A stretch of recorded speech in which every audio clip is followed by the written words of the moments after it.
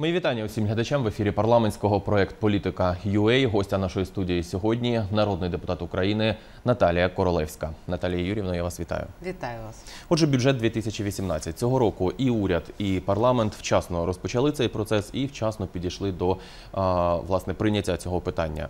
Пам'ятаємо, що на початку бюджетного процесу фракція опозиційний блок не підтримала цей документ і запропонувала своє бачення. Скажіть, на сьогоднішній день ця позиція залишається незмінною? Спасибо большое за вопрос. Он сегодня один из самых актуальных, потому что от того, каким будет бюджет э, в 2018 году, ну, так сказать, в такой рамке страна и будет жить. И поэтому есть два пути.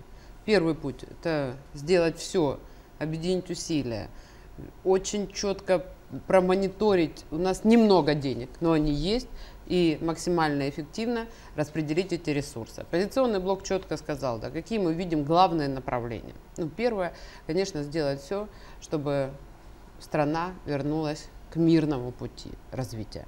Второе, это, безусловно, социальная защита людей, потому что, ну, ну, то, в какой сегодня уже в бедноте и нищете выживают а старики, э, многодетные семьи, социальные категории людей, ну, такого не было никогда. И третий путь – это навести порядок в экономике. Э, Это касается, мы показали, за счет чего уменьшить тарифы, мы показали, как вести госрегулирование цен и как сегодня простимулировать малый, средний бизнес, нашу промышленность, чтобы мы пошли путем возрождения. К сожалению, из всех вот наших базовых направлений э, мы дали альтернативный проект бюджета, дали его правительству, профильному комитету, э, Сотни тысяч женщин по всей стране платформе «Женщины за мир» обратились к каждому депутату, обратились к парламенту, показали, вот что мы сегодня видим, что нужно сделать. Мы показали те социальные стандарты, к которым нужно сегодня прийти. Это 5 ми- тысяч гривен минимальная зарплата, 3,5 тысячи гривен минимальная пенсия и 3200 прожиточный минимум. Это то, на что есть деньги в бюджете, если их ну, грамотно распределить. Вы знаете, мы много общались с женщинами, и вот как говорят наши женщины, да, ну, у каждой семьи сегодня очень ограниченный бюджет. И мы делим вот тот вот небольшой свой семейный бюджет по приоритетам. Да? Ну, первое, там, покушать, обеспечить ребенка, собрать его там в школу, в институт, дать возможность ему себя более-менее нормально чувствовать. Если, не дай бог, кто-то заболел, хоть какую-то возможность, хотя цены на лекарства непомерные, вылечиться. Ну и вот там, если какая-то копеечка еще остается, хотя в большинстве семей она уже не остается, на все остальное. Как делит правительство бюджет, да? Они говорят, денег немного, поэтому это себе, это себе, это себе, это себе. Ну, а вам всей стране денег больше нет. И вот, знаете, ни одна женщина не купит себе вот за тот семейный бюджет сережки, да, и скажет семье, больше денег нет, будем голодать, дети в школу ходить не будут, ничего делать не будем, но зато я буду ходить в сережках. Пані Наталя, але у Вот профільному сегодня, говорю, правительство, оно за весь этот бюджет, да, такого грабежа, вообще грабежа именно государственного бюджета, с такими коррупционными рисками, как его сейчас подготовили ко второму чтению, ну, страна еще не видела. Вот я читала, его раздали буквально два часа назад, как будет остаточний выглядеть. документ, Да. так? Вот я читала, я вот, вот видите, он весь у меня подчеркан, я глазам своим не верила, что когда-либо у какого-либо правительства в нашей стране хватит совести вообще еще и написать это, не только просто вот э, придумать, а еще написать, принести депутатам, и вот вы увидите, как они будут э, криками «Ура, мы перемогли!» да, э, принимать этот бюджет в парламенте. И поэтому я вот скажу буквально несколько пунктов, потому что я действительно настолько возмущена вот э, такой наглостью и циничностью, к которой они подошли. самі ну, найкритичніші, так ви Да, маєте вот на увазі? самые такие, вот знаете, те, что вот прям вырываются из сознания. Да? Ну, во-первых, у нас есть профицит бюджета 7 миллиардов гривен. Это то, что с бюджета 2017 года перейдет в бюджет 2018 года. Были разные мнения, как максимально там использовать эффективно эти деньги. Наша позиция, безусловно, эти деньги нужно отдать людям, потому что это то, что не додали там, пенсионерам, э, многодетным мамам, ветеранам, чернобыльцам, афганцам, военным пенсионерам, которые не пересчитали вообще пенсии. То есть мы говорили, ну, давайте все-таки их отправим отдадим людям, это долг правительства перед людьми. Депутаты долго спорили, но приняли решение, предложение, что давайте эти 7 миллиардов отдадим долги, которые есть в Украине, они у нас сегодня огромные, они приближаются к 100% ВВП, и начнем хоть немножко Мова про уменьшать так, нашу да, э, долговую э, яму. В принципе, имеет место тоже быть. Что же предлагает правительство ко второму чтению? Они предлагают эти 7 миллиардов делить в ручном режиме. Они просто оставляют их себе. И впервые вообще такое будет в истории Украины, когда они говорят, мы эти 7 миллиардов направим там, ну, по перечню статей, но они даже не распределяют, даже не показывают куда. Все научное и экспертное управление, профильный комитет говорит, это антиконституционно. То есть вот эта норма, которая вообще в принципе нарушает Тобто в Конституцию. цьому є ризик того, що ці кошти можуть бути використані як завгодно. Як завгодно. Тобто, у кого в кишенях вони залишаться, як вони їх будуть розподіляти, що вони наобіцяли депутатам за те, щоб вони проголосували, скільки з цих 7 мільярдів залишиться в кишенях депутатів, ми можемо тільки гадати. Але ж це вперше в нашому житті буде, коли вони взагалі беруть ці 7 мільярдів і кажуть, ми самі їх будемо розподіляти. Всі вільні. Ну, все, то есть после этого, понятно, мы э, этот бюджет будет, наверняка там еще э, ряд норм, будем оспаривать в Конституционном суде. Это, наверное, будет первый прецедент, когда мы с бюджетом пойдем в Конституционный суд, потому что он, в принципе, ломает механизм открытости формирования государственного Зокрема, одне із бюджета. посилань буде саме на цю норму, про яку ви Это, ну, згадали. это, знаете как, если первый раз разрешить правительству, что они говорят, мы сами делим, то следующий раз они вообще не будут ничего, они вообще скажут, мы весь бюджет будем делить, да, все свободны, мы просто это тебе, это мне, и все хорошо, у нас жизнь, у них жизнь удалась после этого, они 7 миллиардов уже там как-то вместе с э, провластными депутатами, которые за это проголосуют, можно брать прям список, кто будет голосовать, всем понятно, там уже все их обещания э, будут э, заложены. Это первое, которое вот самое кричащее. Вторая норма, которая, безусловно, ну, она, как бы сказать, ну, не влазит ни в какие рамки здравого смысла, они увеличивают процент инфляции. Они говорят, теперь инфляция 7 до будет 9, так? не 7%, да, теперь инфляция будет 9%. Які тут ризики криються? Ну, то есть они начинают печатать деньги, да, плюс они говорят, мы дополнительно у Нацбанка возьмем еще миллиард 725 миллионов гривен. То есть вот они напечатают эти деньги, плюс они инфляционные деньги, всего они увеличивают э, выдатки э, бюджета на 40 миллиардов 500 миллионов гривен. То есть вот между первым и вторым чтением они дополнительно напечатали 40 миллиардов гривен. Ну, то есть подготовили станки к напечатыванию. И они Це оці 2% в е, інфляції, це так, які додали. інфляції, це те, що буде е, додатково е, перераховано з Національного банку. Це те, що вони чисті прибутки держпідприємств ще на 13 мільярдів до себе залучають. Вони е, перерозподіляють екологічний податок. Тобто у Пані нас Наталя, чим- умовна децентралізація, а е, навпаки в цьому бюджеті буде централізація, тому що вони забирають сьогодні гроші з регіонів екологічного податку та будуть вже розподіляти в ручному режимі е, тут наверху. Чим це може обернутися? Да, тобто вони беруть 40 мільярдів гривень і кажуть, ми їх знайшли, ми їх надрукували, і як ми їх тепер будемо розподіляти.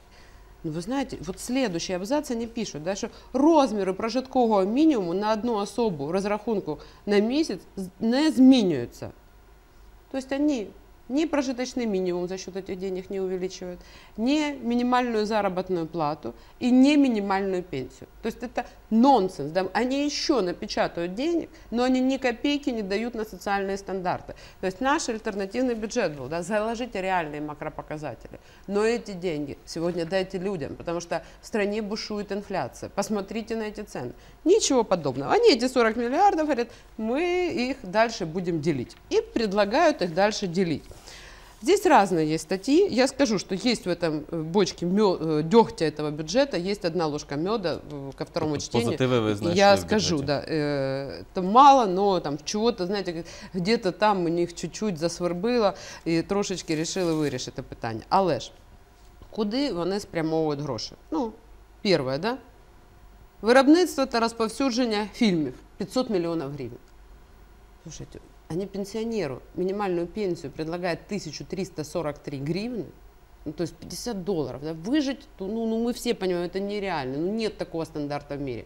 Но при этом они 500 миллионов на фильмы, 370 мільйонів гривень они предлагают будівництво футбольних полів зі штучним покриттям в регіонах України. Да я ж не против, что, конечно, нужны нам футбольные поля. Ну пусть эти мажоритарщики, которые там ходят вечно гречкосийством занимаются, пусть они идут и сделают там эти футбольные поля. Пусть привлекут сегодня спонсоров, найдут деньги. То есть, но это хорошо, чтобы у наших детей были футбольные поля. Но когда полстраны сегодня с голода умирает, когда неподъемные тарифы, когда неконтролируемые цены, когда они печатают деньги, и при этом они прикрывают вот это все свое страшное и ну, невменяемое действие тем, что типа мы для детей футбольные поля. Я больше чем уверен, что футбольных полей никто не увидит, но 370 миллионов э, эти они точно распределят. Дальше.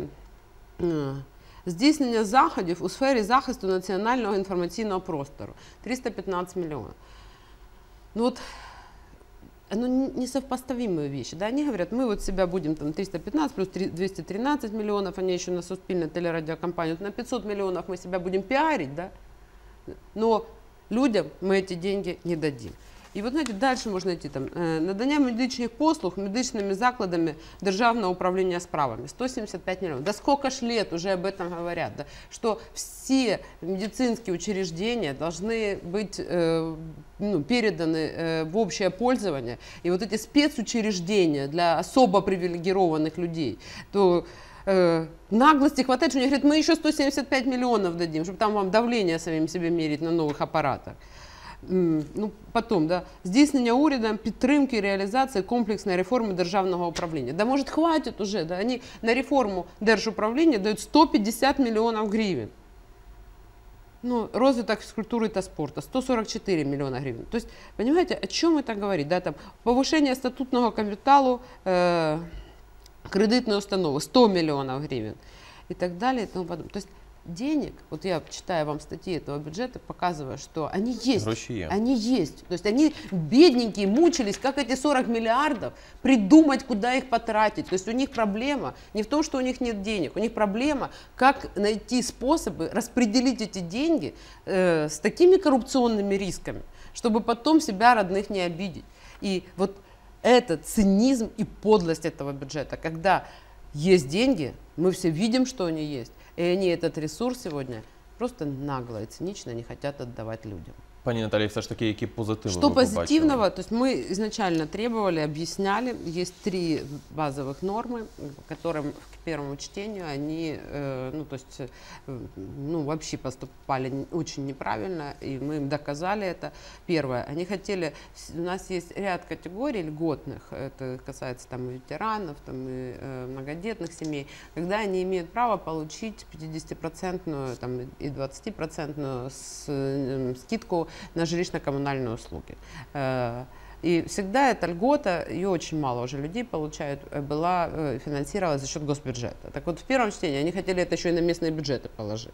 То есть, нам, Что загроживало Ну, то есть местные бюджеты просто побанкротились, да, либо они бы людям просто бы не смогли выдать эту льготу. То есть вот здесь вот мы смогли добиться, что они вернули, ну, то есть как они, как было. То есть это не лучше стало, а хотя бы не сделали хуже. Это первое. И второе, что увеличили субвенцию на образование на 892 миллиона и на здравоохранение 708 миллионов. Это, безусловно, недостаточно, это не решает глобальный вопрос, но это хоть немножко подстрахует сегодня местные бюджеты. И то, что переселенцев теперь включат в э, расчет численности местного населения, это тоже очень важно, потому что до этого местные бюджеты 4 года полностью все затраты по образованию, здравоохранению все несли на своих плечах. То есть вот эти вот как бы три вещи, которые вот, это вот та малюсенькая ложечка меда, да, которая вот в этой огромной бочке дегтя, дегтя, которую они натворили ко второму чтению.